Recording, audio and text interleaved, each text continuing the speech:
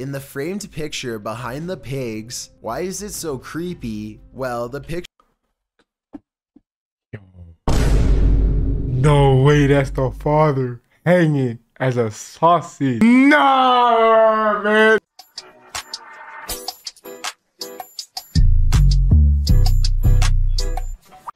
All right, what's good, YouTube? Welcome back to another video, man. Today we got top 15 creepy secret messages in cartoons, man. Let's get straight into it. Number 15, A113. Oh, no, why you sound like that? Put a secret message in several films in the form of numbers. A secret message. Oh, no. Why does he sound like that? Number 15. Only someone who works at Disney would understand. Well, and now all of us who I guess it matches the tone, the man, of the vid. It's supposed to be creepy and eerie, right? Disney movie if you were to watch all the movies and catch this secret message, you might find it creepy and a little frightening. You might ask yourself, what does it mean? Are they trying to tell us something? You might start spinning out, going crazy, trying to find out what this code means, why it appears everywhere, from Toy Story to Finding Nemo to Monsters University, and loads of other Pixar Studios and Disney Pix. It turns out this code leads back to Disney headquarters when employees become visual artists at Disney. They take classes oh, in room A113. It really is everywhere. 14, Illuminati. That's not really like creepy though. That's more like a, you know, an Easter egg.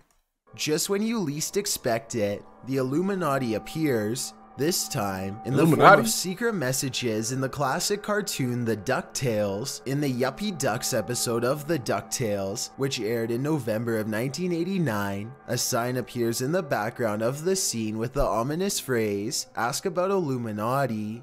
In the episode, oh. Scrooge McDuck heads to the doctor to get checked out because he's not feeling well. In the background of the doctor's office where that Scrooge is, is, undergoing his examination is an eye chart. That's you know, One of those charts with the big E on the top to check your eyesight. Only this time, the chart is no innocent eye chart. It's a message telling children to inquire about this top secret group the creepy secret message is fuzzy, so ironically, only those with good eyesight would make it out.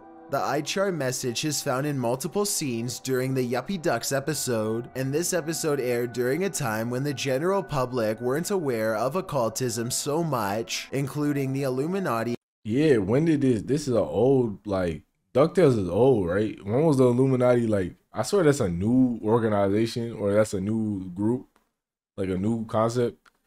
I don't, I don't know.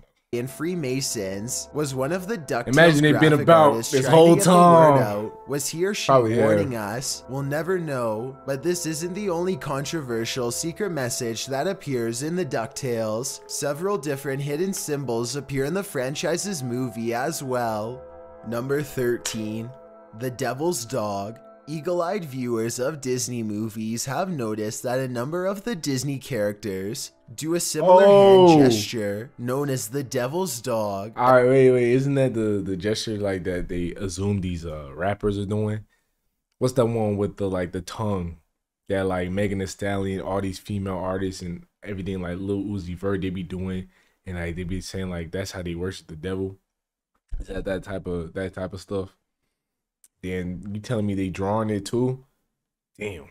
Everyone from Jasmine to Snow Damn. White to the fairy godmother to Cinderella has been spotted using this gesture that's tied in with Satan worshipping. But bro, isn't that I ain't never doing that shit again.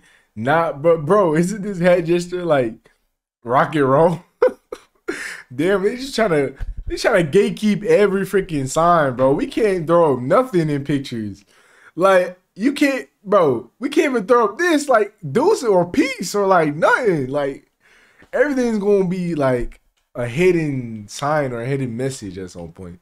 The gesture appears like the devil's horns, and once you see it, you can't unsee it. As most critics say, if it had happened with a character or two, it might just be a coincidence, but being that it pops up in a number of films, Ooh, it, does. it, does. seem quite suspicious. Is Ooh. Disney trying to tell- Ooh, what the hell? Okay, when you see an eerie painting like this, one of these like old school like Renaissance paintings like this, it kind of adds a little bit more. Uh, uh, what's that word? It's more, it's more valid, you know. it's like it kind of adds a little bit more evidence to the fact that this might be uh actually uh an actual, you know, uh, what did they say? Illuminati? Was it Illuminati? Or like something eerie? I don't know what the hell it is, bro. But damn. Tell us something. Number 12. It's a cult. Don't drop. The horrors of prison life shouldn't be a punchline in a kid's show, should they? Well, validity. Yeah, that's the word I was thinking of. Thank you. SpongeBob has no filter. In one episode, SpongeBob innocently hands Gary, his pet, a bar of soap. Then, with a big beaming smile on his face, he gives Gary a wink and tells him not to drop it. Look, doubloons! Don't drop them. Don't drop the soap, as most know, is a warning not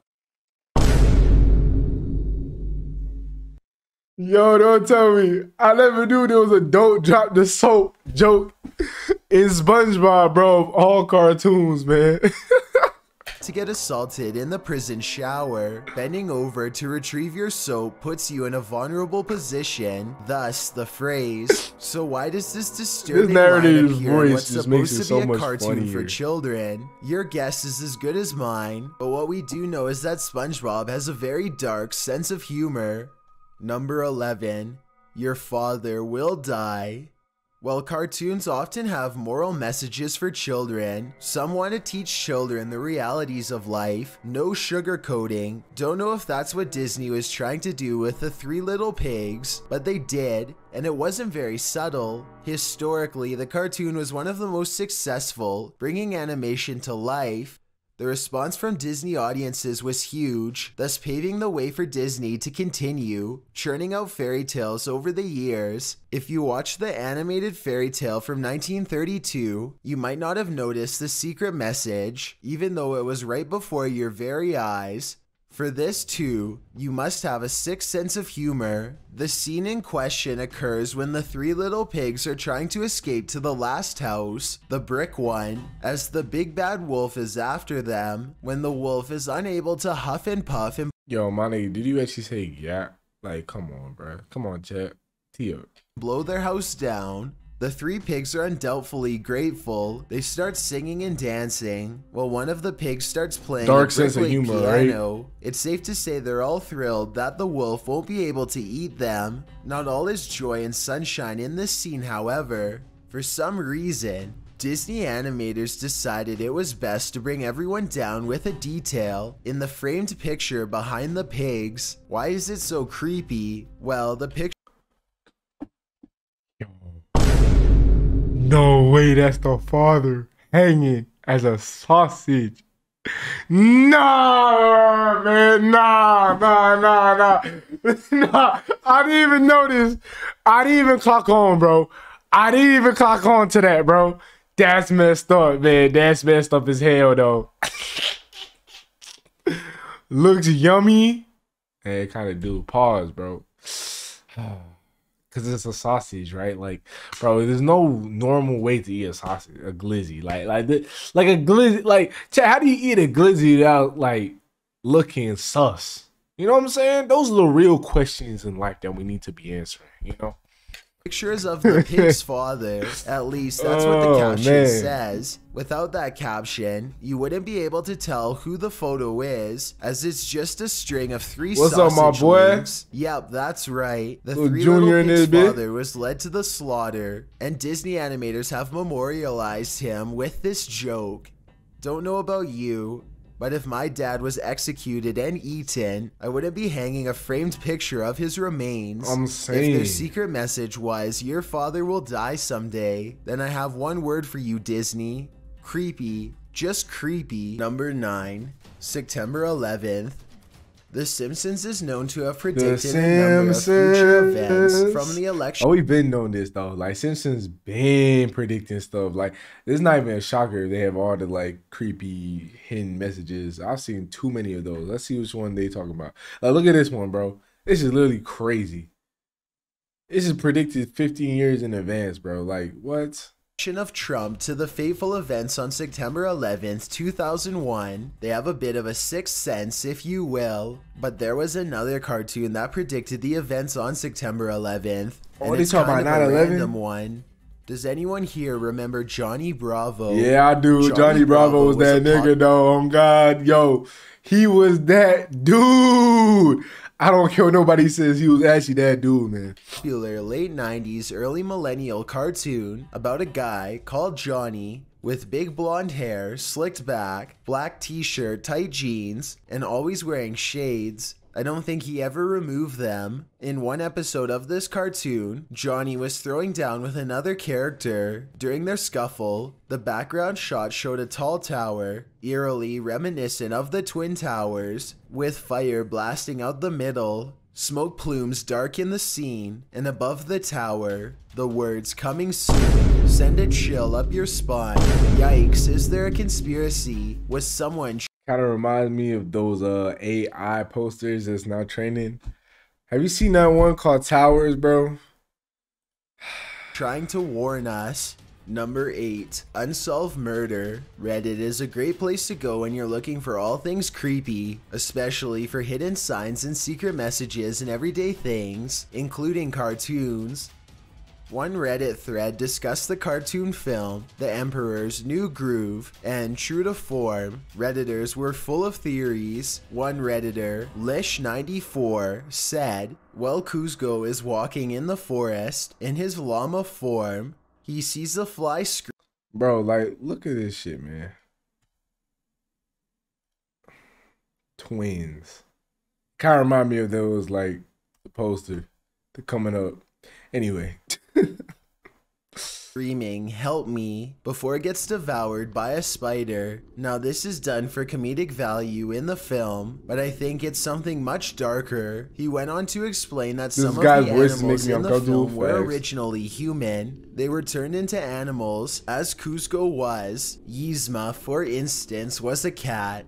Well, Kuzco was a donkey, but those animals who are actually animals aren't able to communicate with the human animal hybrids. You see this when they were trying to communicate with a squeaking squirrel, and they only understand what he was trying to tell them through gestures. They weren't fluent in squirrel. The fly spoke as a human would. Kuzco Ooh. understood the fly, so the Redditor theorized that the fly was originally human, and this spider, in fact, murdered him. Damn. Another human animal hybrid out Yeah, I ain't know him vengeance, name. I ain't know the nigga, but damn, R.I.P.. and just out for an afternoon snack. The secret message was so subtle that the unsolved murder mystery has gone cold. Number 7. Everything must die. Teaching human beings to come to terms with passing away can be a good thing. It is a pretty profound experience secondhand, and we can only imagine firsthand. But is four years old the right time to have this knowledge? Probably not. Thomas the Train thinks it is. Uh, Thomas and the Tank Engine was my was my shit, man. As a kid, I love Thomas the Tank Engine. Friends, the famed books and TV series about talking trains place some strange imagery into its cartoon. The TV series involves trains. Yeah, but now that I think about it, these these uh, it was kind of weird. It was kind of eerie. Like, look how the trains look. They look kind of scary in my opinion.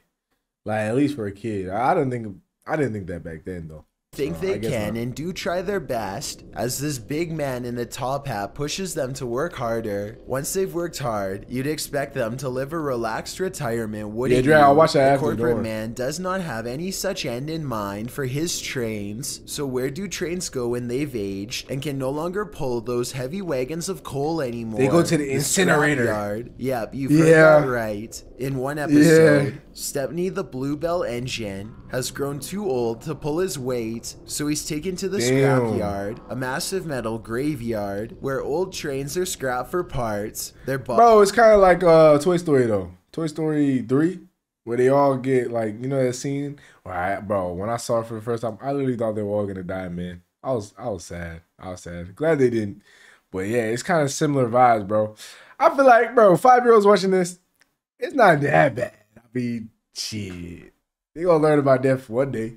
bodies melted into new train pieces, and the rest left to rust in their living grave. The grossest part of this Bro, episode this is kinda is like murder though, ain't it? ensured that children know how much pain, So maybe sadness, nah, maybe and not fear so. the trains were in as they were taken apart and blowtorched. The even creepier part, one train in the back. Oh yeah, nah. If this if this creepy ass nigga is watching us like this, yeah, I can't lie. No, this shouldn't have been shown to kids, bro. He's literally this is the guy getting paid to kill these trains. Nah, look at him, smile on his face.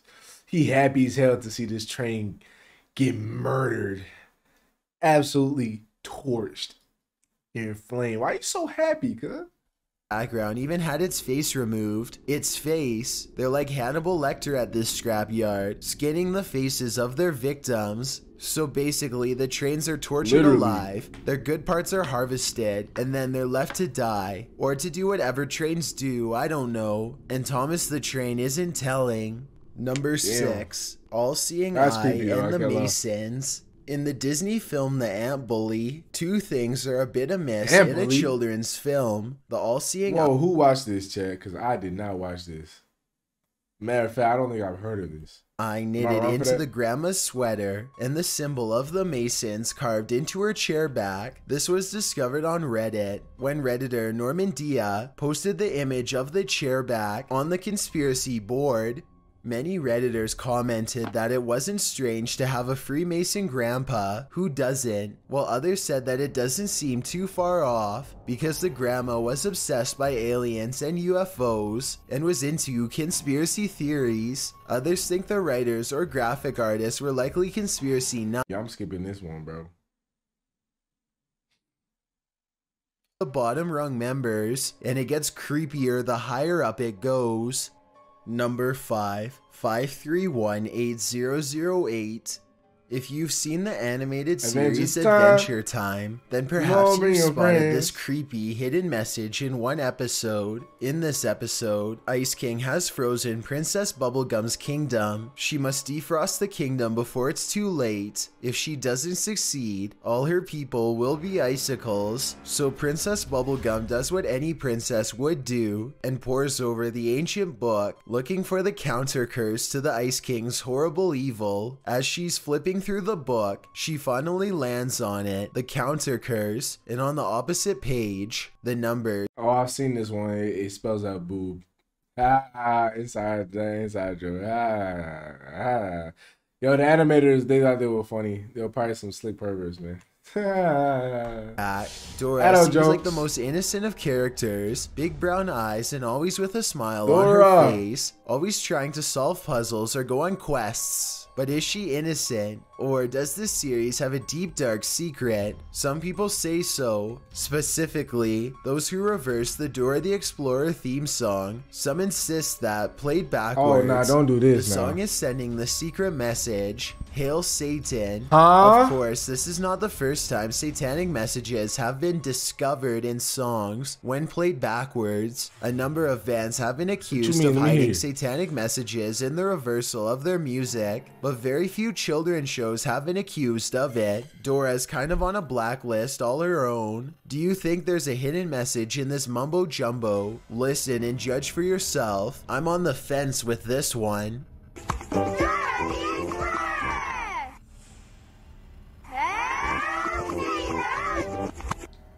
what the hell? Now they reaching. They reaching on that one. I'm sorry. The rest of these ones, I bro, most of the ones we watched, almost all of them, I can kind of get behind. That one they reaching, bro. They reaching like like shit, man. I don't know why they try to make Dora out to be some evil, creepy, hell Hitler type. No, no. Number 3, Gravity Falls Cryptograms. Gravity Falls is a newer Disney cartoon TV Now, Gravity Falls, this was a show. June 2012. This one I believe The they had series is some about secret 12-year-old messages for twins, show. Dipper and Mabel Pines, who are summer vacationing with their great uncle, Grunkle Stan. Stan runs the Mystery Shack in Gravity Falls, and they help their uncle run it. They also uncover some mysteries. Mysteries that are often accompanied by the paranormal and the supernatural. At some Nah, point, this was a Dipper gas show. finds a journal in the forest. This journal has clues to a local mystery, which they must investigate.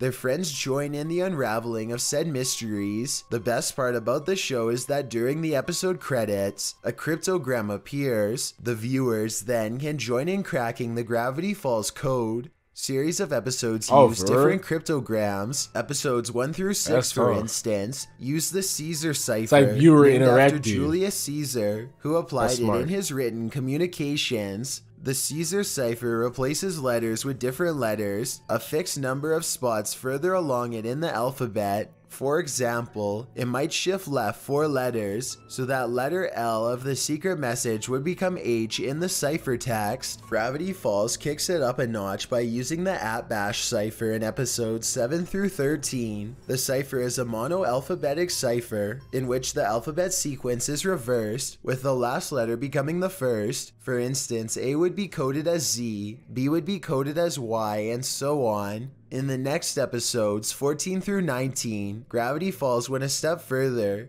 and used the A1Z26 cipher. This is a type of encoder and decoder, a substitution cipher. I don't know who had time to do all this, man. God damn, bro. I was just watching this show. Each alphabet letter is replaced by a number 1 through 26. So in this cipher, A equals 1, B equals 2, C equals 3, Who's solving this on cable television? That's what I'm saying. to Z equals 26. True they are separated by a symbol, like a dash or a space, so that 2 and 6 cool don't know, get though. confused for 26 and so on. Gravity Falls I guess it's secret. It's secret for a reason, chat. It's secret for a reason. Come on. Episode 20 used a combination of all three ciphers, and the nobody key Vigenère cipher was used in episodes 21 through 40, also known as Quagmire the Third. This type of cipher uses an alternate tableau, with the Okay, message bro. being encrypted and decrypted by an alphabet key. There's a passphrase involved, which is the code Who's word that really chooses columns this? in the tableau. The alphabet key places a random series of letters before the code letters, which makes the cipher hard to crack. The Shorts of Gravity Falls, known as the Dipper's Guide to the Unexplained, also flash Oh my god, nigga, hurry up and get to the point.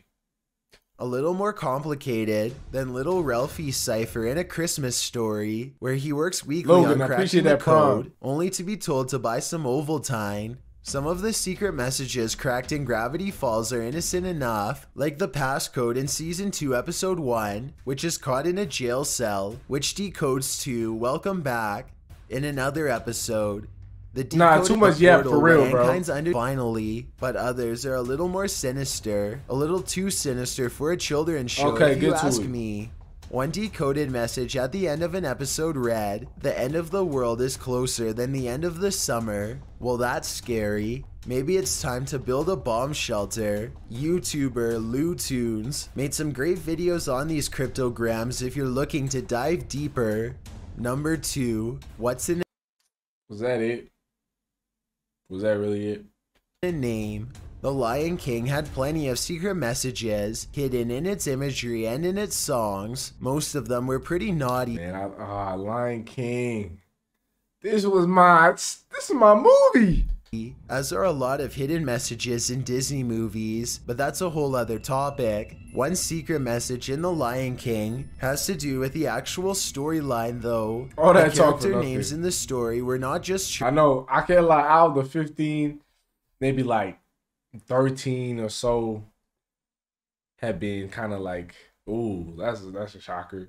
Two of them have been like, uh, nah, that's a stretch. chosen at random. The original Lion King, Mufasa, took his name from the last of the Bagada kings. The name also translates to the word king in the Monazoto language. And his evil brother Scar wasn't really called Scar. This was his nickname due to, of course, the scar he had across his Duh. eye. But Scar's real name is Taka, Taka in Swahili means filth or dirt. Sounds about right when describing him. Scar's jealousy and anger led to him taking his own brother's life and trying to take his nephew's too in quite a horrible way. Now, Scar was actually like the evilest villain out there, bro. Lie. Stampeding seems like a pretty dirty, filthy thing to do to someone, but I suppose you could argue that Taka, aka Scar, became who he was because his parents named him thusly. If your parents named you Filth and your brother King, it's safe to say that might have done some serious psychological damage. That's not to say Scar was justified in turning into a homicidal dictator. But I, I can't lie. L parents though. Who's naming their child filth? Crazy. later, but it's just something to think about. Before we get to number one, All right, drum roll, number one. Chills, and I hope you're enjoying my narration. No, your narration is kind of creeping me out, buddy. I'm not gonna lie. This is you.